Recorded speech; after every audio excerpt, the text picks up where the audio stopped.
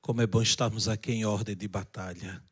Nós aqui no quartel-general e todas as pessoas em casa, cheios do Espírito Santo e da palavra de Deus. Todos vocês já têm o livro Quaresma de São Miguel, Libertos do Mal, com auxílio dos anjos. É muito importante percebermos que a Quaresma de São Miguel, ela não é só um momento oracional aqui no exército de São Miguel. É um momento espiritual, é um momento formativo, é momento de louvor, momento de conhecimento de Deus, de conhecimento de si e de conhecimento das belezas que Deus tem feito. Então, de fato, nós estaremos nestes 40 dias na presença de Deus, unido com os irmãos, conhecendo as maravilhas de Deus. Por isso que é muito importante é estarmos nesse tempo, vários sacerdotes irão passar por aqui, várias pessoas irão passar por aqui formando você, formando a sua casa, formando a sua alma. Então, o nosso livro desse ano está dividido em partes, e nós estamos entrando agora na primeira parte, que é conhecendo o campo de batalha. Nós já temos explicado várias vezes. Para vencermos uma batalha, é preciso três coisas.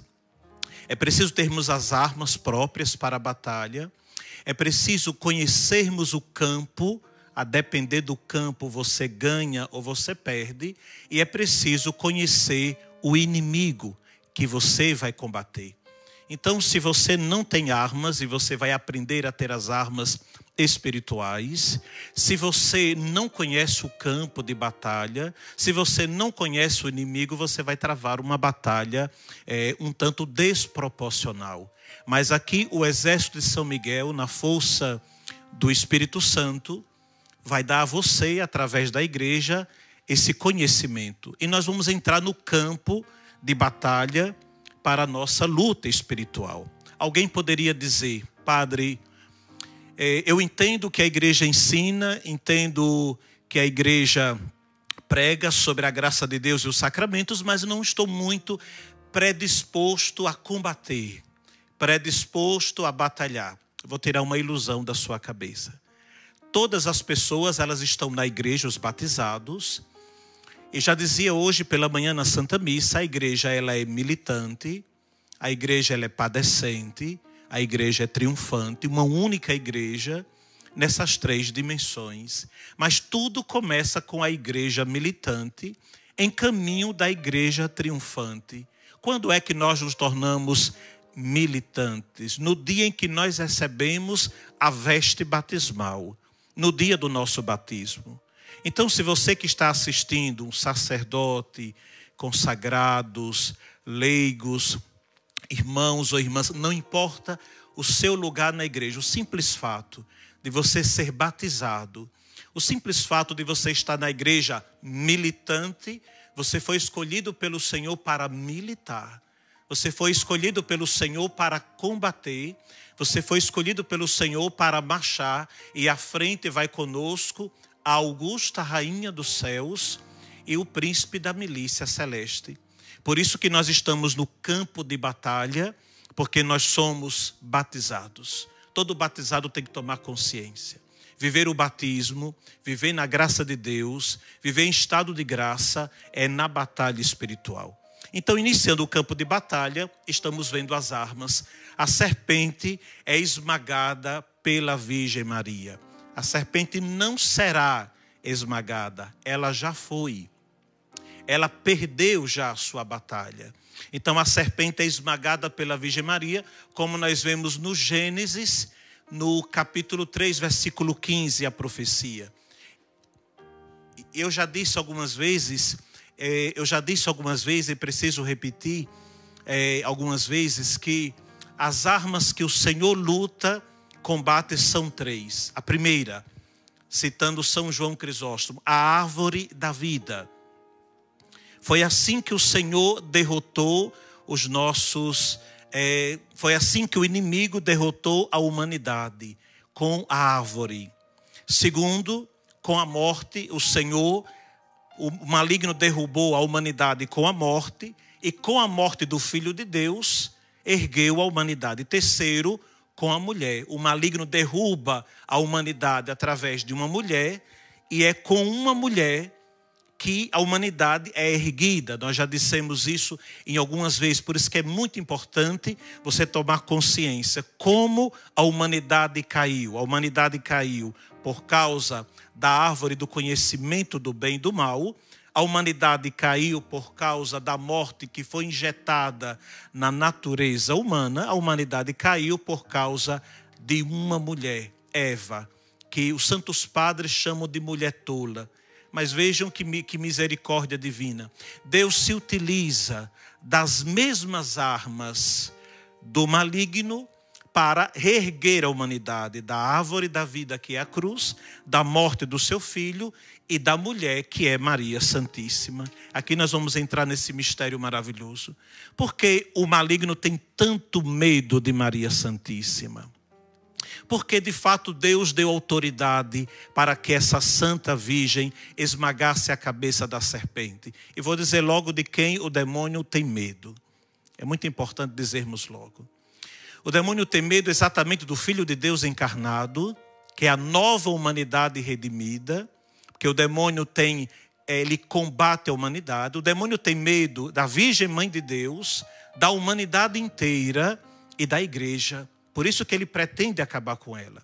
Então, a Virgem Maria, ela tem toda a graça de Deus para esmagar a cabeça da serpente, porque ela já foi preparada por Deus é, toda pura, toda imaculada, em benefício do filho. Aqui já muda completamente a ideia que o maligno tinha de derrubar a humanidade. Derrubei a todos, mas Deus preparou para o seu filho uma pessoa, a sua mãe, de maneira extraordinária, e essa toda pura.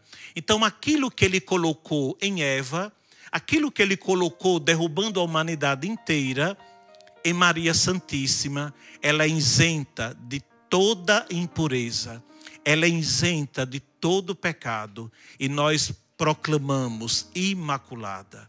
Aqui está a grande beleza. A Imaculada Conceição, por ela nascer sem a mancha do pecado original, por causa dos planos que o Senhor já está para revelar, que ela foi preparada antes de todos os tempos, imagine só quando a gente reza sobre a nossa vocação pessoal, a gente sabe que Deus nos escolheu antes da fundação do mundo no seu Filho para sermos santos e irrepreensíveis. Eu, pobre pecador, fui escolhido antes da criação do mundo para viver na vontade de Deus.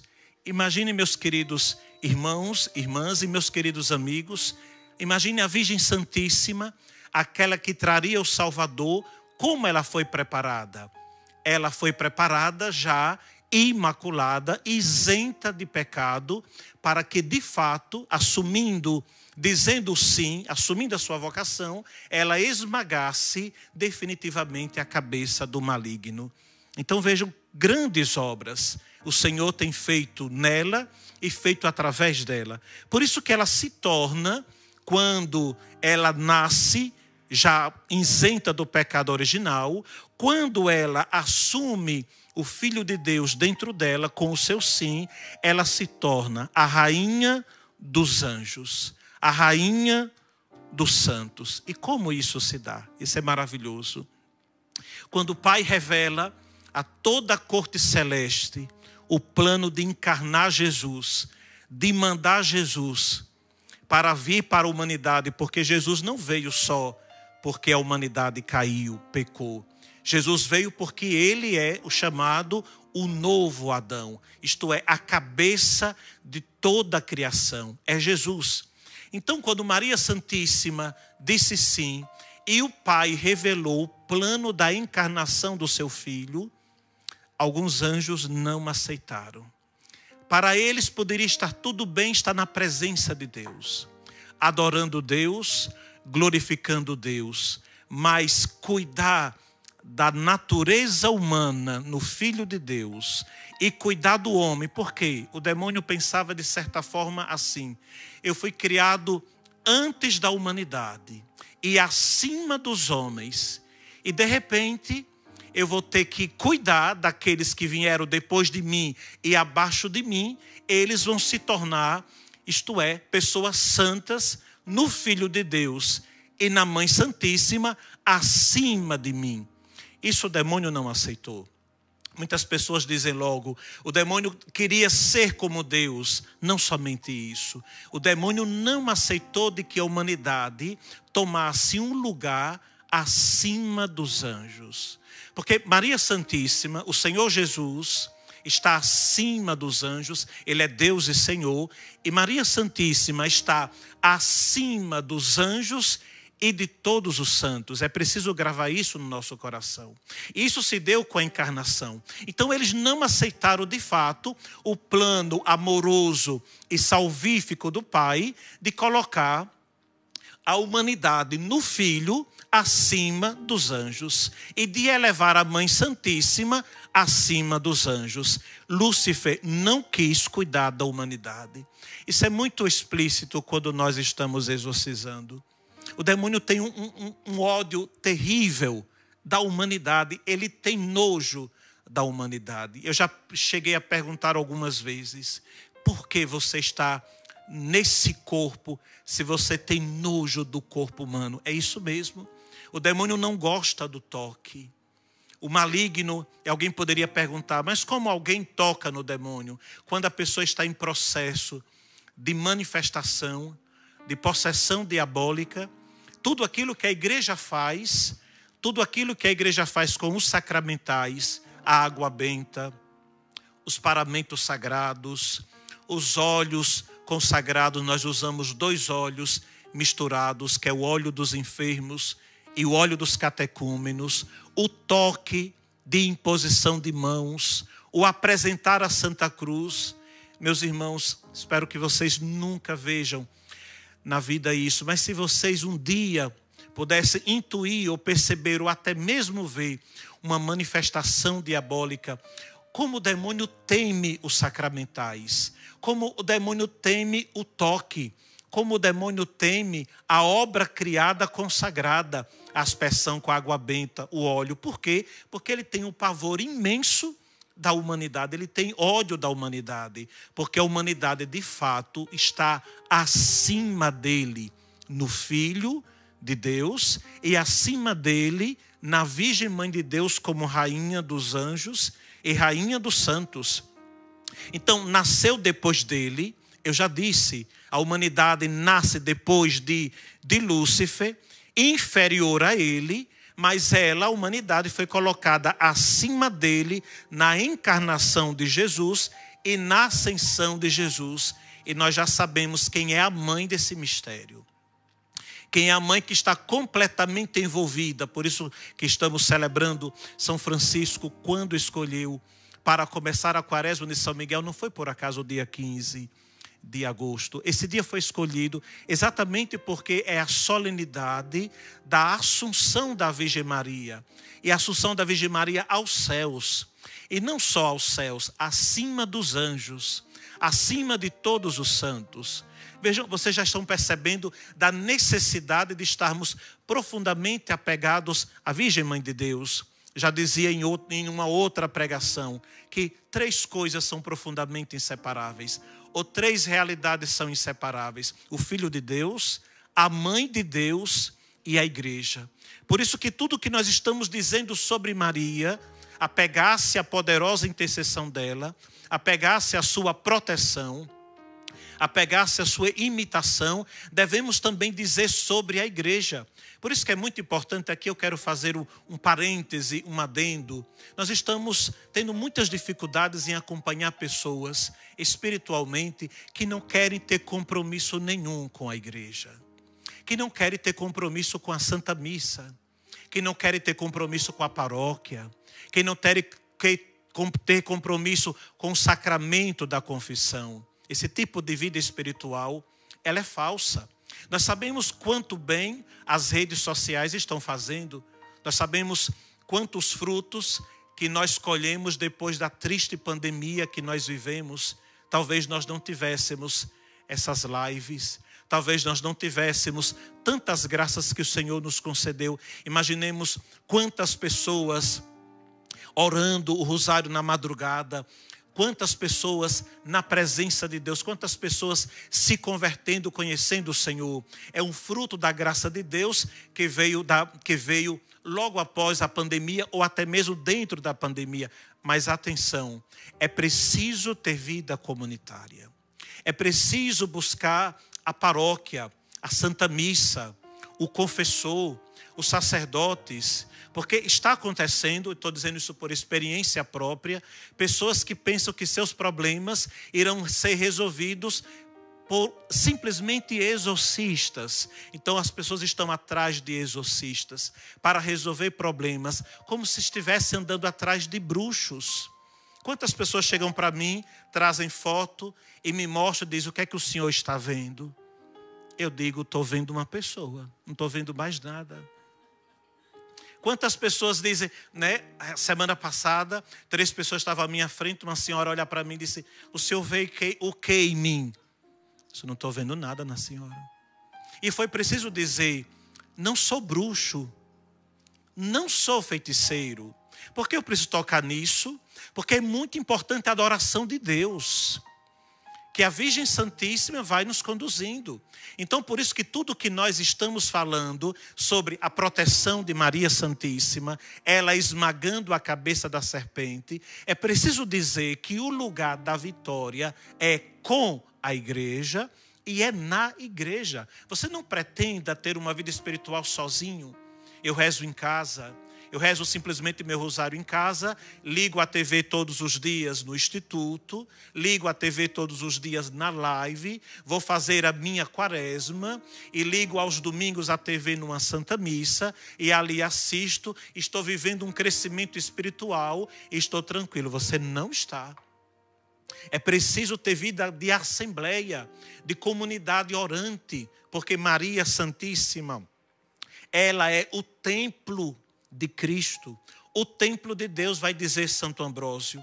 Então vejam, nessa história de salvação e de vida, quando Maria Santíssima diz sim ao projeto divino e o Verbo se encarna, aqui foi o momento em que o céu inteiro precisou tomar a decisão. Porque Deus criou os céus e a terra, o mundo visível e o mundo invisível o mundo invisível, adorando Deus, a terra, o mundo visível, tudo criado com maestria. Aí o demônio desestrutura a humanidade. Então o pai manda o filho, e na hora de mandar o filho, aqui está a queda do maligno e o reerguimento da humanidade é muito importante entendermos, é aqui que a corte celeste inteira, já sabendo desse plano anteriormente, precisou tomar a decisão. Por isso que aqui vem o grande brado de batalha desses últimos tempos, que a igreja canta, que a igreja proclama, que a igreja eleva. Quem como Deus? Nós muitas vezes pensamos que a batalha no céu, do capítulo 12 do livro do Apocalipse, se deu como simplesmente uma batalha humana, soldados de um lado, soldados de outro, grandes batalhas, espadas, pessoas caindo. Tire essa imagem da sua cabeça.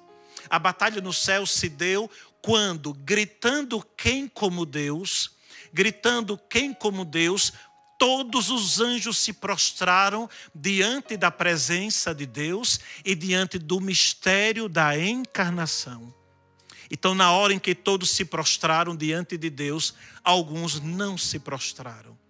Estes perderam a presença. Estes perderam a glória. Eles não perderam a natureza angélica, mas perderam a glória. Por isso que surge esse brado, quem como Deus, que é um brado de adoração a Deus. Por isso que nós ontem, já na vigília, nos expressamos desta maneira essas três realidades espirituais, a adoração, a conversão e a libertação, deve pulsar no nosso combate espiritual. Deve pulsar na nossa vida, porque a partir do momento que você se torna adorador como São Miguel, você já está debaixo da augusta rainha, porque ela vai comandando todos os exércitos. E para quê? Para nos salvar. para nos converter, para adorar o Senhor. Por isso, nenhuma pessoa é amante da Virgem Mãe de Deus sem viver a vida da igreja. É amante da Virgem Mãe de Deus sem adorar o seu filho. É amante da Virgem Mãe de Deus sem gritar como é, São Miguel e sem gritar com São Miguel, quem como Deus. Então, meus queridos irmãos, aqui se dá a grande submissão dos anjos, dos santos e dos homens à rainha dos céus. Sim, todos os anjos estão debaixo da rainha do céu. Mas o maligno não quis estar. Então ela se torna não só a rainha dos anjos e dos santos, aquela que esmaga a cabeça da serpente, mas ela se torna, isso aqui é muito bonito, ela se torna a porta da porta. Ela se torna a porta do céu. Porque lermos capítulo João, capítulo 10 do Evangelho de São João, que lá está escrito que Jesus diz: "Eu sou a porta". Então, não é uma outra porta. Aí Maria Santíssima é a porta do céu. Mas pensemos, o céu é Cristo. Maria Santíssima é a porta por onde entra e sai a graça de Deus. Ela é a porta. E na hora em que Maria Santíssima se torna a porta do céu, porque através dela passa o céu, através dela passa esse rio cheio de graças. Por exemplo, a profecia de Ezequiel, o templo, que vai jorrando água para todos os lados, e todos aqueles que beberem desta água terão vida. Maria é essa porta, onde Cristo, o rio de vida eterna, passa por ela para a humanidade inteira e a humanidade inteira por ela chegando ao seu filho. O que acontece também aqui, há para todos os anjos um aumento de humildade. Mas quais anjos? Os anjos bons. Também há um aumento de soberba para os anjos maus. Por isso que não só ao nome de Jesus os demônios tremem. Isso é uma experiência. Não só ao nome de Jesus os demônios se submetem, os demônios também não pronunciam o nome da Virgem Maria. No máximo dizem aquela, aquela mulher. E eles têm pavor. Os escritos do padre Gabriel Amorti, por exemplo, antes dele começar qualquer exorcismo, ele simplesmente fazia uma oração simples. Ele dizia: Eu quero pedir a Maria Santíssima o seu manto protetor. E ele dizia que ele se revestia espiritualmente do manto protetor de Maria, do manto de Maria, para combater o maligno. Aqui tem um ensinamento. Então, com fé, com muita fé, você deve pedir a Virgem Mãe de Deus que o manto proteja a sua casa, que o manto de Maria proteja a sua vida, que o manto de Maria faça você crescer em humildade, aumentar em humildade para estar ao lado dos anjos bons e não simplesmente diminuir ou crescer em soberba como os anjos maus.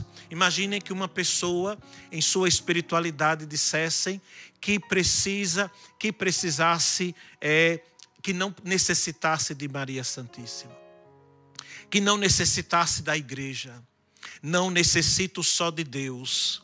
Essa linguagem tem um, um, um quê de espiritual, um quê de bíblico, um quê de, de fé, mas não tem nada de espiritual.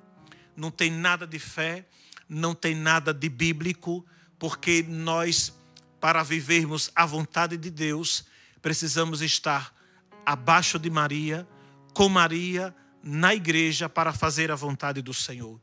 Então nós já vamos já em vias de conclusão. Maria Santíssima na nossa vida, como nós devemos nos relacionar com ela para esmagar ela que esmaga a cabeça da serpente e a igreja esmaga a cabeça da serpente. Indico três modos e estes modos são, são é, orientados, dados a nós pela igreja. O primeiro modo é a poderosa intercessão. Maria Santíssima, ela exerce o mesmo ministério do Filho, só que o ministério de Jesus é salvífico A Virgem Santíssima, ela não nos salva como Jesus salvou. O sangue de Jesus é o único sangue que salva. Mas como o ministério de Maria Santíssima é também um ministério de intercessão, é porque ela atravessa lá na região de onde eu venho, nós temos uma devoção muito grande à divina pastora. Ela cuida das ovelhinhas. Então Maria Santíssima é aquela divina pastora do divino pastor que atravessa interceder é estar no meio de uma situação difícil. Então muitas pessoas pensam assim: eu vou pedir a intercessão de Maria para que ela reze por mim, para que ela interceda por mim. E a intercessão de Maria Santíssima não é só rezar por você. A intercessão de Maria Santíssima, quando você pedir, ela vai atravessar, ela vai se colocar entre você e o demônio, entre você e a morte, entre você e a doença, entre você e a tristeza. Você está percebendo como é poderosa a intercessão? Então você não está só. Você não está só. Você tem a graça de Deus, toda a graça de Deus. Você tem o Espírito Santo nessa batalha que mora dentro de você. Chamamos de inabitação divina. Você tem toda a corte celeste você tem os anjos, você tem os santos. Qual é o seu santo de devoção, além da Virgem Mãe de Deus e de São José? Pois bem, todos estes intercedem por nós, se colocando à nossa frente entre nós e o perigo, entre nós e o mal. Isso que significa pedir a intercessão de Maria, pedir a intercessão dos santos. E quando você vai pedindo a intercessão dos santos, aquilo que foi lá dito em Gênesis capítulo 3, versículo 15, vai se dando, porque a palavra de Deus não é um livro do passado. A palavra de Deus não é um livro que compõe algumas histórias divinas do passado. A palavra de Deus, ela foi inspirada pelo Espírito Santo e ela é atualizada todos os dias na força do Espírito Santo. Por isso que quando na igreja, na liturgia, na missa, estamos ali lendo a palavra, quando na nossa oração pessoal, na Lexo Divina, estamos ali lendo a palavra, nós simplesmente não estamos fazendo um estudo do ponto de vista intelectual ou um texto a ser lido para explicarmos. Quando na igreja se ler a palavra, aquela palavra ela é atualizada. Ela começa a acontecer na vida da pessoa então, quando você pede a intercessão de Maria Santíssima, começa a acontecer na sua vida exatamente aquilo que você está pedindo. Por isso que você não pode desenvolver uma espécie de carência afetiva espiritual. Ah, eu dependo de A, de B e de C, eu dependo. Não, você depende da graça de Deus. Você depende do poder de Deus. Você depende da intercessão de Deus. Nós somos criaturas de Deus, amadas por Deus. Nós somos filhos de Deus, pequeninos, humildes, mas amados por Deus. Por isso você tem tudo pelo poder da intercessão. A segunda coisa que nós necessitamos para viver debaixo da proteção de Deus para viver debaixo do manto de Maria Santíssima, para viver esmagando a cabeça da serpente. É a imitação das virtudes de Maria Santíssima. Imitar Maria Santíssima. Sabemos que ela é de uma outra época. Não, você não vai simplesmente imitá-la no jeito de vestir, ela tem outra cultura você não vai simplesmente imitá-la no jeito de falar. Nós não sabemos como ela falava, sabemos da língua, do aramaico que ela falava, do hebraico que ela conhecia. Era uma mulher que foi criada no templo, conhecia as escrituras, conhecia os salmos, conhecia as orações judaicas. Nós vivemos numa outra época. E o que nós vamos imitar em Maria Santíssima? Nós vamos imitar as suas virtudes. Não tem vida de batalha espiritual sem virtude, meus irmãos. Não tem crescimento espiritual sem virtudes. Quantas pessoas estão sucateando as virtudes ou passaram a vida inteira sem crescer nas virtudes? Quando vem um combate espiritual, quando vem uma tempestade, quando vem um vento terrível, espiritualmente falando, a pessoa cai, porque ela não tem virtude, ela não tem bons hábitos, ela não tem firmeza, ela não tem firmeza para a vida de oração diária, a pessoa não tem firmeza para a disciplina da Santa Missa, a pessoa não tem firmeza em leitura da palavra de Deus, a pessoa não tem firmeza em desenvolvimento da temperança, da justiça, do conselho, etc. É preciso desenvolver virtudes para você vencer nessa batalha com Maria Santíssima. Às vezes eu escuto muitas pessoas dizendo assim: ah, eu preciso dessa ajuda, eu não consigo resolver aquilo. E parece que é o céu que está travado, parece que o problema está na graça de Deus. Parece que o problema está em Deus, parece que o problema está no sacramento, parece que o problema está na palavra de Deus, e nada disso é verdade lamento revelar para você. O problema está em você porque você não tem virtudes.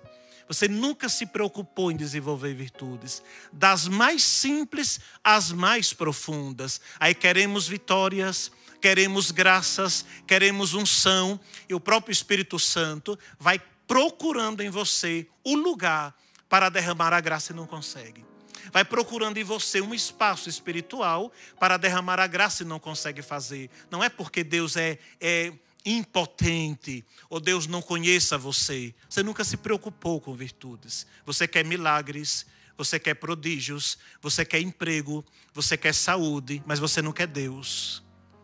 Mas você não quer o poder de Deus você não quer viver na presença de Deus. Então vocês estão percebendo, essa quaresma de São Miguel vai trazer você para dentro do furacão. para dentro do furacão. E dentro do furacão tem batalha. Né? Dentro do furacão tem, tem grandes batalhas. É preciso imitar. Então, pedir intercessão viver imitando as virtudes de Maria Santíssima. Terceira e última coisa, contemplar. É muito importante. Nós falamos muito de lexo divina, leitura da palavra, mas também precisamos falar, falar da visio divina, a visão divina. A visão divina é contemplação do criado, contemplação da beleza na vida espiritual contemplação da sua própria vida. Quantas pessoas tristes? Por que você está alimentando tristeza desnecessária? Uma perda de tempo terrível. Você precisa contemplar as coisas belas que Deus fez na sua vida. Você precisa contemplar a sua família. Você precisa olhar para a sua casa, para o seu esposo, para sua esposa, não importa a sua condição social.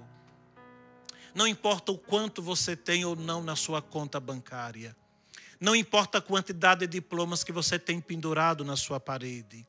Você reclama noite e dia do que você tem. Você murmura noite e dia daquilo que você tem.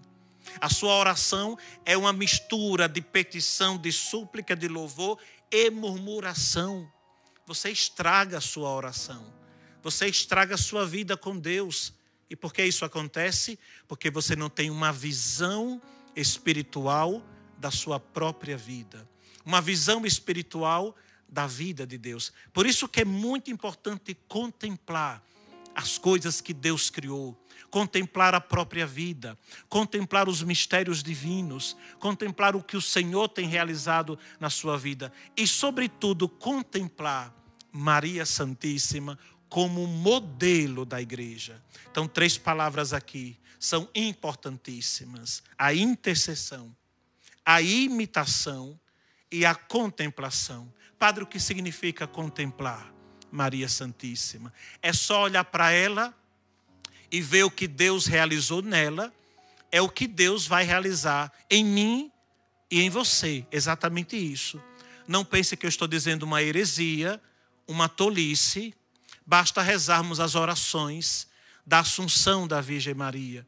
Concedei-nos a graça de também ir aos céus. Concedei-nos a graça de vivermos imaculados. Concedermos a graça de vivermos a virgindade de Maria. Conceder-nos a graça de gerar Jesus dentro de nós. Você entendeu o que eu disse?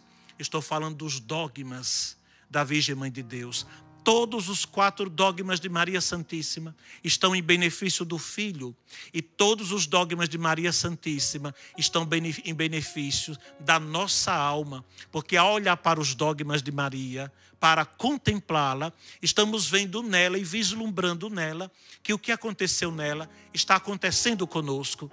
Imaginem o demônio precisa saber, e ele sabe, talvez você não saiba, mas eu estou te revelando. O demônio precisa saber que no seu batismo você já recebeu toda a graça de ser imaculado.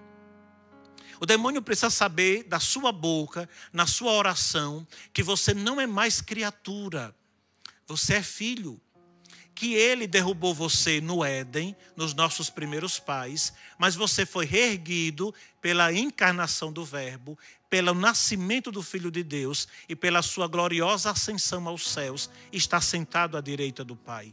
Então, de fato, onde nós estamos, como natureza humana em Deus, no Filho, acima dos anjos, na Mãe de Deus, Rainha dos anjos. Então não tem como nós perdermos essa batalha. É preciso vivermos na graça e no poder de Deus. É preciso descobrir quantas graças o Senhor tem colocado na nossa vida. Então nós devemos sempre pedir a augusta rainha dos céus, a rainha dos anjos, que ela interceda, que ela cuide de nós, que ela nos proteja. Peça constantemente peça constantemente. Até você que é cristão e, e não é católico ainda, que sempre teve uma repulsa a Maria Santíssima, não tenha medo de Maria Santíssima. Ame-a como Jesus a ama e já é suficiente. Se você aprender a amar Maria do jeito que Jesus amou, é suficiente para a sua vida. E é tudo aqui, e aqui o ensinamento da Igreja Católica. Por isso que a primeira arma poderosa que o Senhor deu à humanidade, deu à Igreja, para vencermos o maligno, é Maria Santíssima esmagando a cabeça da serpente. Amém.